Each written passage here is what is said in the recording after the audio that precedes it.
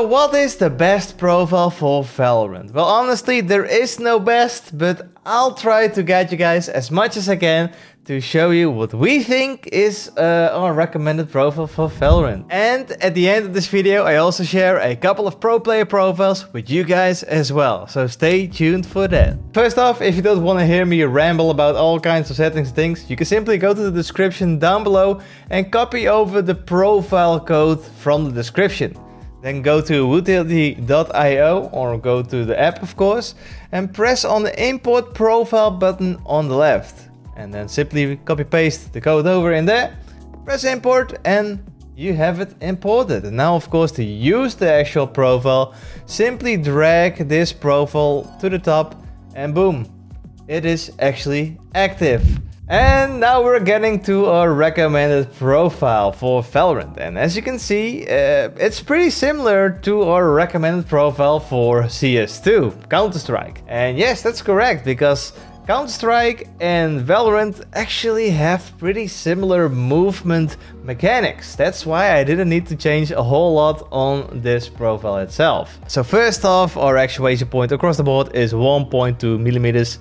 This is basically so you don't fat finger any keys on your keyboard. Of course, you can set this to 2.0 millimeters. That's all fine too, but 1.2 millimeters, the actuation is just a tiny bit faster than 2.0 millimeters. And further you can see on the WASD keys we have 0.4 millimeters of actuation point. You might be asking, why not 0.1? Well, 0.1 is just too sensitive. I tend to lean on my keys and I accidentally press in those keys as well if it's set to 0.1 millimeters and you don't want that to happen so 0.4 millimeters just gives you that extra little give course, you can tweak it, see what you actually prefer, maybe even 0.2 or 0.1. That's up to you. And with 0.4 millimeters of actuation point, you have to release the switch 3.6 millimeters all the way back to reset again. And of course, for strafing, this isn't really ideal. And that's why we also implemented rapid trigger on the WASD keys, so it instantaneously releases and resets the switch again for the really snappy strafing movement. And for the rapid trigger sensitivity, I've set up a 0.2 millimeters sensitivity. Uh, why not 0.15? Well, when I hold down my WASD keys, I tend to unintentionally, I don't know why I can't hold in the WASD keys, but sometimes unintentionally I just release it ever so slightly and that makes it already like jitter with rapid trigger on if uh, if I'm walking and that's not ideal. So that's why I've chosen a sensitivity of 0.2 millimeters, just to have a little bit more give.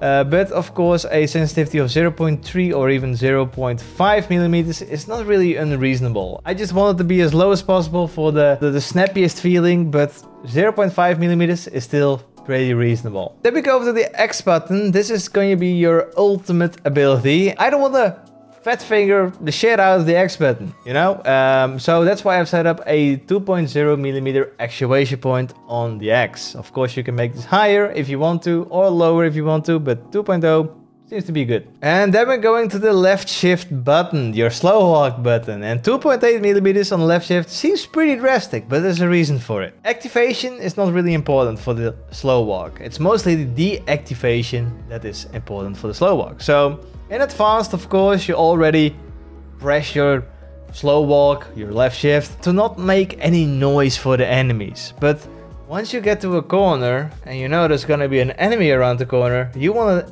deactivate the slow walk as soon as possible so you can just surprise them, be quick around the corner and tap them in the head. So that's why 2.8 is set up. So it only takes 1.2 millimeters travel back to actually deactivate again. And of course you can fiddle around with the setting and make it maybe even 3.5 millimeters, but I always felt that uh, when I'm holding down the shift key, I intentionally release it slightly. This makes my character just jitter around, which is not ideal. And then we go from the left shift key to your left control key. And the left control, the crouch button, is mostly important on activation, but not so much on a deactivation. So let's say you are in a gunfight, someone's really close, you tried a few taps on the head, but it just didn't work out.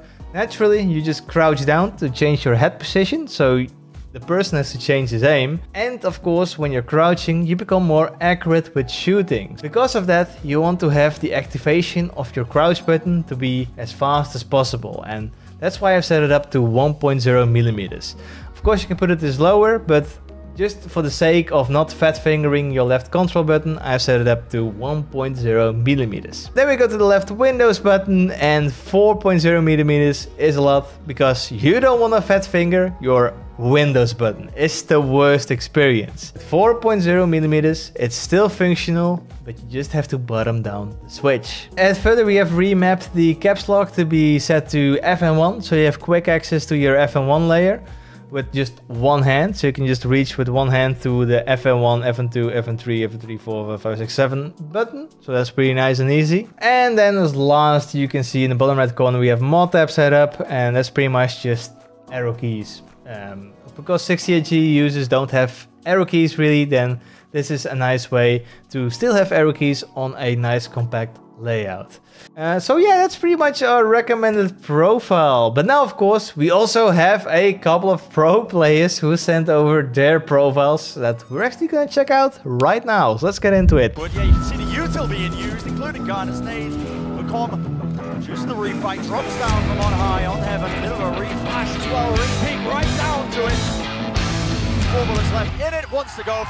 The first one is C0M, and C0M has a actuation point across the board of 0.5 millimeters, which is pretty sensitive, and an actuation point of 0.1 millimeters on a WASD. He doesn't want to play around. He wants to be as fast as possible. My god. And also rapid trigger setup on WASD with a press sensitivity of 0.2 and release sensitivity of 0.4. And he has no continuous rapid trigger, Tachyon mode is on. Spacebar is set to 0.1 actuation. Damn, that's really snappy. Uh, I guess timing is essential on the spacebar and the jump. Uh, left shift button 0.5 millimeters as well. Left control is also 0.5 millimeters to be as fast as possible, which is reasonable. All the settings further are pretty much the same. Yeah, that's C0M. Okay, let's go to the next one.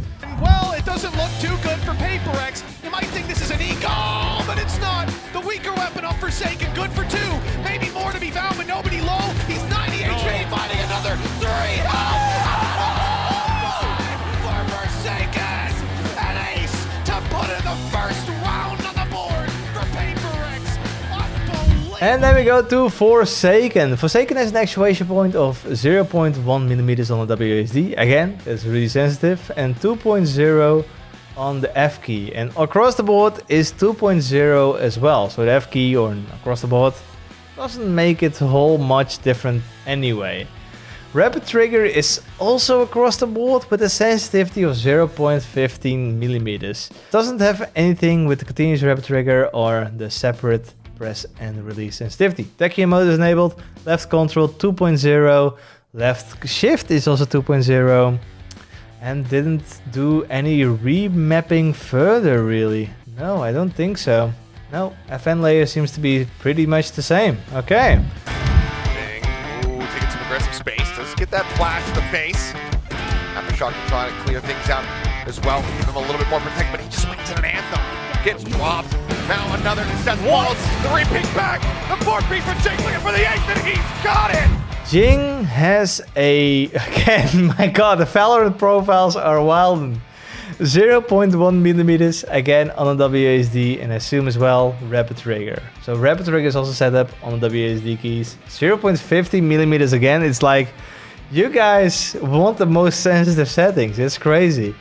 And for some reason, Jinggg also has the slash, the backslash button to be rapid trigger enabled, which I wonder why. Maybe it's by accident, I have no clue. and further, did he remap any buttons across the board? Also 2.0 millimeters of actuation.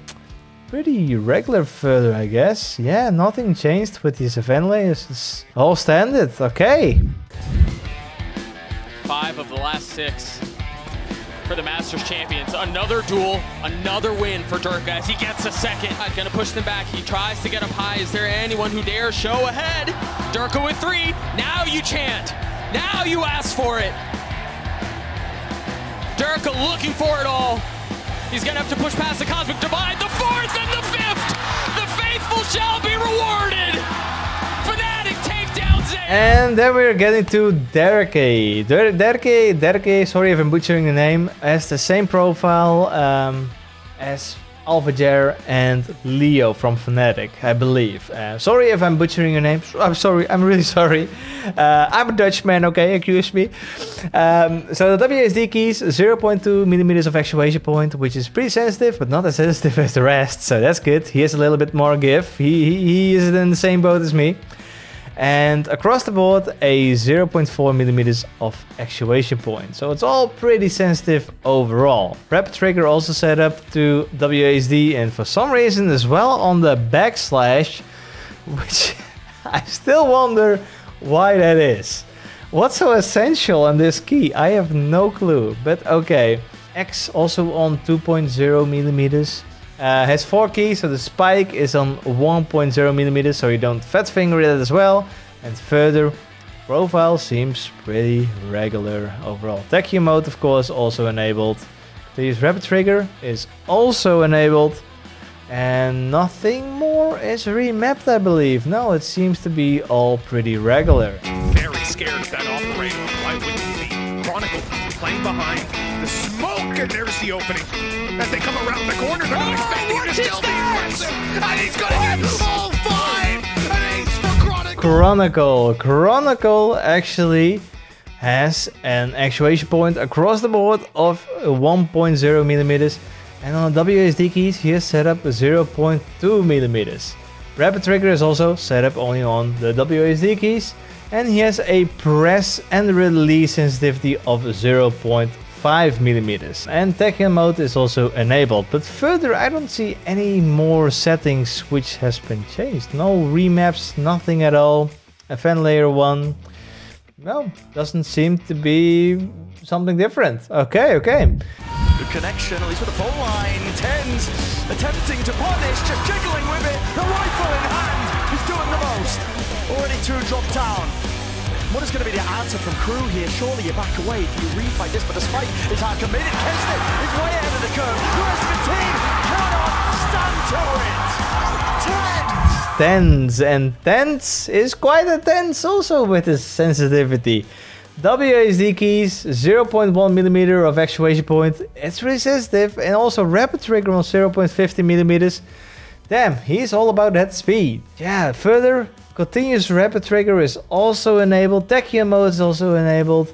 And on the spacebar, we set up an actuation point of 3.0 millimeters. And across the board, 1.0 millimeters of actuation point as well. Hey, I don't think he further changed anything, did he? And again, no, further it seems to be all the same. So that's pretty much TenZ's profile. And that's pretty much all the profiles. So thank you guys for watching this video. Hope you guys found this helpful. And of course, if you have any questions, leave them down in the comments below. And of course, the promo codes are all listed in the description below. So simply copy them over, import them, and use them and fill around with them. Play around with them, do whatever you like. And then I will see you guys in the next video again. Hey, goodbye.